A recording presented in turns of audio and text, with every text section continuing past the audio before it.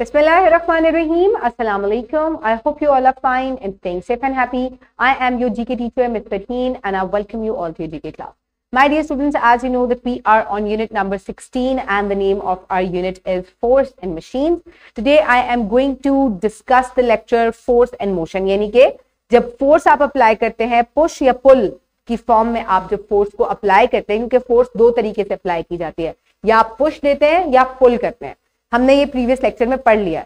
तो इस, इन दोनों तरीकों से क्या होता है कि आप मोशन जो है वो इंड्यूस करते हैं, यानी कि मोशन जो है इससे पैदा होती है। और मोशन जो है वो तेज हो सकती है, आहिस्ता हो सकती है, आप उसको रोक सकते हैं फोर्स की वजह से, या आप उसकी डायरेक्शन को भी चेंज कर सकते हैं। So let's quickly move forward towards the recap so quickly tell me what is force push or pull is called force. And what are forms of force? Force, that is and pull. Okay my dear students so let's begin with an activity. So here you can see a man is driving the और riding on a motor bike ठीक है? ये motor bike जो है ये चल रहा है और अचानक से वो चाहता है कि वो राइट साइड पे मुड़ जाए। सो so, क्या होगा? वो किस तरीके से राइट साइड पे मुड़ेगा? By turning the handle bike जो है वो मुड़ जाएगा। अब आपसे मेरा क्वेश्चन ये है कि जब आप कभी बाइक पे खुद बैठे हो अपने फादर के साथ या आप किसी को बाइक चलाते हुए देखें तो जब लेफ़्ट या राइट टर्न करना हो, मुड़ना हो, साइड पे करना हो बाइक को तो आप हैंडल को टर्न करते हैं। तो क्या इसमें आपके फादर की फोर्स अप्लाई होती है या कोई और चीज़ फोर्स अप्लाई करती है? क्या चीज़ फोर्स अप्लाई करी है जिसकी वजह से बाइक टर्न हो गया? बेसिकली अब इसमें दो फोर्सेस अप्लाई हो रही हैं। पहली फोर्स ये है कि जिसमें आपके फादर ने कमांड दी और बाइक के हैंडल को टर्न किया जिससे व्हील्स को मशीन ने आ, ये उसको कहा कि आपने राइट टर्न करना है। So now the machine is applying the force towards the right side तो इस तरीके से दो फोर्सेस अप्लाई हुई। पहली फोर्स अप्लाई हुई on the handle by your father और दूसरी फोर्स जो है टायर्स पे अप्लाई हुई with the help of the machinery, जिसकी वजह से बाइक जो है वो चल रहा है। तो यहाँ पे दो फोर्सेस अप्लाई हो रही हैं। तो इन्हीं फोर्सेस की वजह से, दोनों की वजह से जो बाइक है वो चल रहा है। इसी की एग्ज़ाम्पल गाड़ियों में भी होती है। गाड़ी को ब्रेक अप्लाई करना स्टेयरिंग को टर्न करना तो इसमें भी दो फोर्सेस अप्लाई होती हैं। एक फोर्सेस जो है वो मैन फोर्स होती है, जो कि स्टेयरिंग को टर्न कर रही है या ब्रेक अप्लाई कर रही है, और दूसरी फोर्स अप्लाई होती है by the by the machinery और आप जितनी ज़ोर से हैंडल को टर्न करेंगे, उतनी जल्दी बाइक टर्न हो जाएगा। जितना आप स्लोली टर्न करेंगे, उतना वो स्लो टर्न होगा। इसी तरह से ब्रेक को आप जितना आहिस्ता प्रेस करेंगे, उतनी ही गाड़ी जो है वो स्लो डाउन होती रहेगी। जैसे ही आप ज़ोर से ब्रेक के ऊपर पाव रखेंगे तो उससे क्या होगा कि गाड़ी जो है फॉरन instantly it will stop so इन तरीकों से दो फोर्सेज अप्लाई हो रही है one by the machinery and other by the man force Okay, my dear students, so in today's lecture, the students will be able to observe and describe how motion of vehicles can be changed by applying force, speed up, slow down, stop, change direction, etc.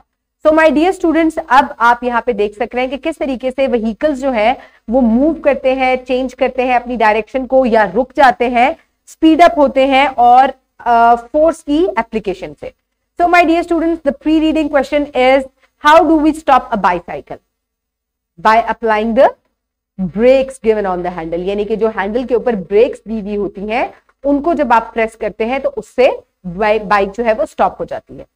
Okay my dear students now is the time for reading for reading you have to open page number 156 in your GK three book I hope everybody has open the page now let start the reading force and motion we have read that force drives the vehicles, but all the vehicles do not move with equal speed. It is because of different amount of force applied to a vehicle. Force of an engine can cause the following changes in the motion of the vehicle. तो my dear students हमने एक बात पहले भी पढ़ी थी कि या तो कोई भी ट्रांसपोर्ट जो है, उसको इंसान अपनी फोर्स से चलाते हैं, जानवर चलाते हैं, या मशीनरी की फोर्स से वो चलते हैं अब डिफरेंट व्हीकल्स जो है, वो डिफरेंट स्पीड से चलते हैं, क्योंकि उनके अंदर जो मशीनरी प्रेजेंट है वो बताती है जितनी पावरफुल मशीनरी होगी उतनी ज़्यादा फोर्स अप्लाई कर पाएगी।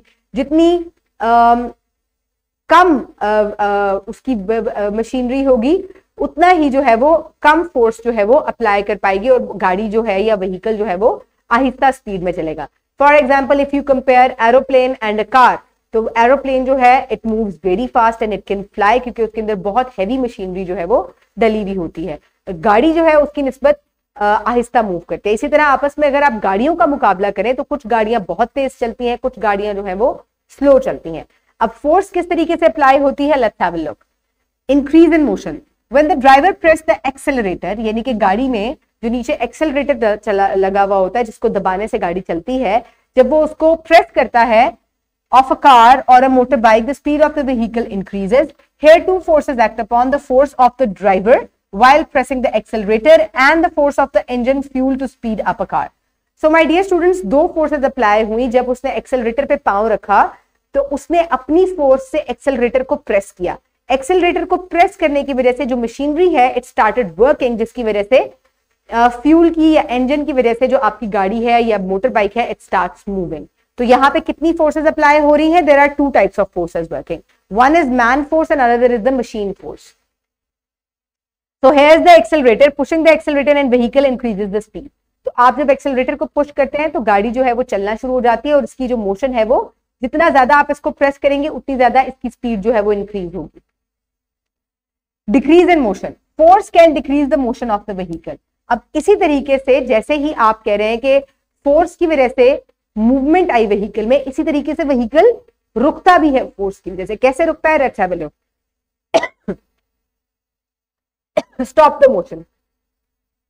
Force can stop the motion of the vehicle when it is applied to the brake. When the driver pushes the brake, he applies a force that can stop the moving vehicle. So my dear students, in this case, जब driver brake पे पाँव रखता है तो again एक force उसने apply की break पे जैसे ही उसने ब्रेक पे फोर्स अप्लाई की तो उसकी फोर्स की वजह से जो ब्रेक अप्लाई होती है उससे मशीनरी जो है वो गाड़ी को स्लो डाउन करती है। जितना तेज़ी से आप ब्रेक पे पाव रखेंगे, ज़ोर से दबाएँगे, उसको उतनी जल्दी ही गाड़ी जो है वो स्टॉप होगी, जल्दी से स्टॉप होगी। जितना आप आराम से ब्रेक को प्रेस करेंगे, उतना ही वो स्लोली जो है उसकी मोशन जो है वो रिड्यूस या कम होती जाएगी। Change in direction a vehicle also uses force to change its direction for this purpose force is applied to the handles and और steering the allied machinery changes the direction of the moving vehicle इसी तरीके से जब आप handle पे force apply करते हैं तो उसकी वजह से मशीनरी जो है उसको, उसकी मोशन को फॉर एग्ज़ाम्पल एक गाड़ी सीधी चलती जा रही है। आप स्टेयरिंग को राइट साइड पे टर्न करेंगे so the car one force you have applied on the steering और उसकी वजह से गाड़ी जो है वो इस तरफ़ मुड़ जाएगी, क्योंकि मशीनरी जो है उसको राइट right साइड पे टर्न करने का कहेगी। तो इसी तरीके से हर दफ़ा जो है टू फोर्सेस जो है वो एक्ट कर रही है one man force and other is the machinery applying brake stops the vehicle and steering helps to change the direction So my dear students, now is the time for evaluation. What changes can be caused by force in the movement of the vehicle? It can induce motion, यानी कि movement को induce कर सकती है start कर सकती है it can slow it down और it can change the direction how can you increase the motion of a vehicle by pushing on the accelerator how is the direction of vehicle change by working with the steering यानी कि steering को turn करने से आप movement uh, vehicle की movement को या direction को, उसकी मूवमेंट की डायरेक्शन को, सीधी चलती हुई डायरेक्शन को चेंज कर सकते हैं लेफ़्ट या राइट तो my dear students for practice you can download this worksheet from the description box below this video और you can get it print from your teacher so write down you name and roll number and then what force can do with the motion it can start the motion it can slow it down और it can change the direction of the motion identify the force force to speed speed slow down और stop the change the direction of the motion Hit a moving ball with the bat. Speed up.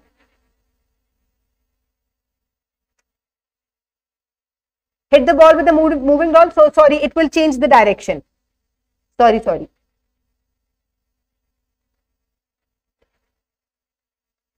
Okay.